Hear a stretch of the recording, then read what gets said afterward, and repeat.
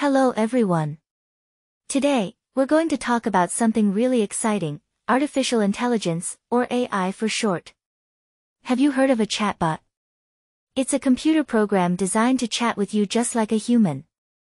One popular chatbot is called ChatGPT.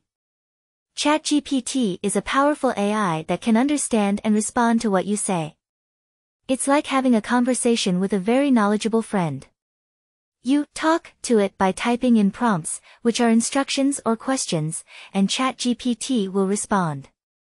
Now, how does ChatGPT know what to say? This is where prompt engineering comes in. It's a method where we carefully design prompts to guide the AI to give the specific responses we want. It's like steering a conversation in a certain direction. For example, a good prompt could be, can you explain photosynthesis in simple terms? It is clear and direct.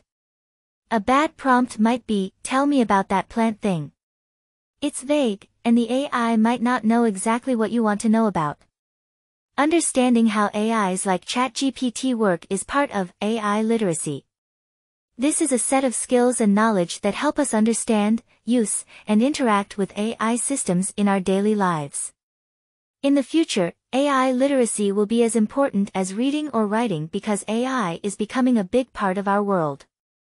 It's important to remember that while AI like ChatGPT is very smart, it can make mistakes. Just like us, it's not perfect.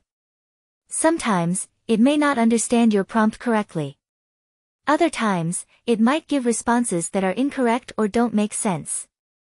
That's why it's so important to have good AI literacy and to always use your critical thinking skills. Don't just accept what ChatGPT or any AI says as the truth. Check the information, ask questions, and think about if the response makes sense. Remember, AI is a tool that we use, and just like any tool, we need to use it wisely and responsibly. So, while interacting with AI, keep your thinking caps on, and continue to question and learn. Now, Let's dive in and explore this amazing world of AI together.